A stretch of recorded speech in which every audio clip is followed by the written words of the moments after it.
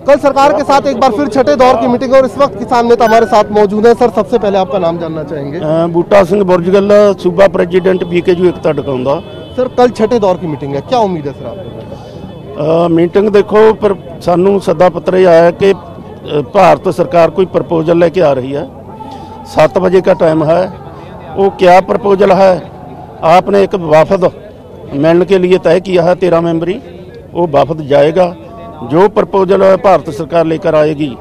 उस पर रात को समीक्षा करेंगे। समीक्षा करने से बाद कल वाली जो मीटिंग है नौ तरीके वाली उसमें भी चर्चा होगी कि कितनी मांग साड़ी मानती है कितनी नहीं मानती। ये जो प्रपोजल आती है प्रपोजल में देख कर ही कुछ कहा जा सकता है। सर अगर संशोधन पर बातचीत होती है अगर सरकार बोले कि हम तो जहाँ भी आपको समस्या है उस पर संशोधन करेंगे तो उस पर आप लोग मानेंगे? देखो आपने जो डिमांड किया आठ डिमांड रखी है, तीनों कानून रद्द किया जाए। दो ऑर्डिनेंस है, एक बिजली बिल बीस सौ बीस का है, एक प्रदूषण पर लेकर आई है ऑर्डिनेंस। ये पाँच ऑर्डिनेंस ते तीन कानून बनते हैं। नाल डिमांड है कि जो बुद्धिजीवी वकील,